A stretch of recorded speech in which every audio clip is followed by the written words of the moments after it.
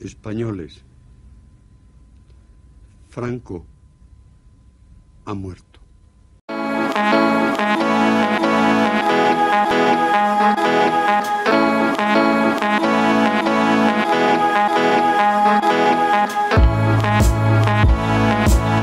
Por fin Franco ha sido exhumado. Los restos del dictador ya no descansan en un mausoleo. Una indignidad y un insulto para las miles de personas que luchamos por las libertades. Ninguna democracia que quiera ser moderna o quiera ser avanzada puede rendir honores a dictadores y a dictaduras. A partir de aquí quedan un montón de acciones políticas dentro de un pacto de Estado a favor de la memoria democrática.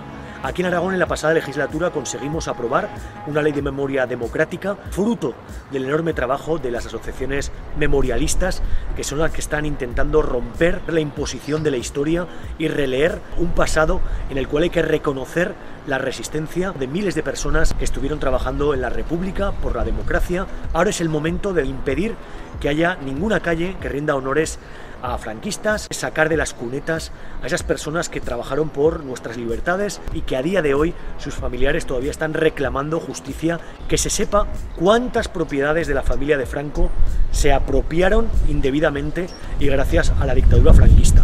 Y cómo no, que se quite cualquier reconocimiento a gentuza torturadora como Billy el Niño que atacaron los derechos fundamentales de miles de personas. Hoy es un día para celebrar en un momento electoralista elegido por Pedro Sánchez, pero en definitiva una exhumación de Franco que era necesaria para una democracia que tiene que seguir avanzando en el reconocimiento del pasado de las personas que defendieron la democracia y la república y que tenemos que seguir construyendo un mundo de libertades y de democracia para todas las personas.